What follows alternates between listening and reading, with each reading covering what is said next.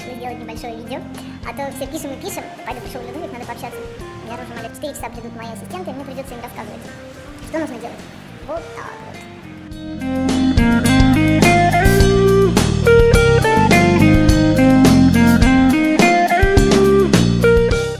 В общем, все у нас круто, замечательно, мы работаем, сейчас самое интересное начнется.